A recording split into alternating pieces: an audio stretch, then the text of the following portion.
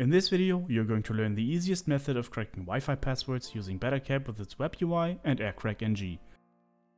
In order to capture Wi-Fi handshakes to crack, you will need a Wi-Fi card that can operate in monitor mode. You can check with the manufacturer of your network card to see if monitor mode is available. Also, you need to have Bettercap and AirCrack installed and configured. You can find a link to both tools in the description. In order to crack Wi-Fi handshakes, you need to capture some first. To do this, open the Bettercap web UI and start capturing. Every time a device connects to a wireless network, it completes a handshake with the access point.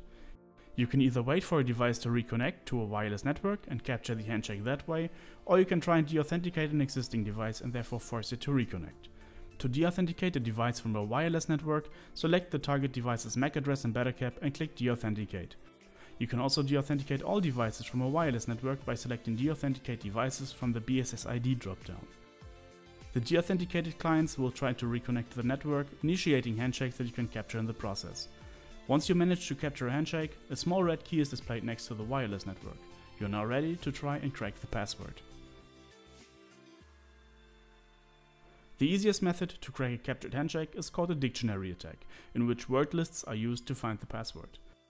Word lists contain a list of potential passwords that can be checked against the captured data. The most well-known password list is rockyou.txt. Dictionary attacks are easy to carry out but are also limited to the passwords on the list. If the password you're looking for is not on the list, you will not get a result. To start the cracking process, you can use the following command. AirCrack will start to go through every entry on the list and compare it against the captured data. If a match is found, AirCrack will stop and present the password. The result in this case is pizza party, a word on the word list. As I already said, dictionary attacks are the simplest way to start cracking Wi-Fi passwords. Dictionary attacks do not have a high chance of success, since most routers these days use randomly generated letters or long sequence of numbers. There are more sophisticated methods that you can use, such as mask attacks, but these require in-depth knowledge of the target and sometimes even social engineering. That's a topic for another video. Until next time, bye!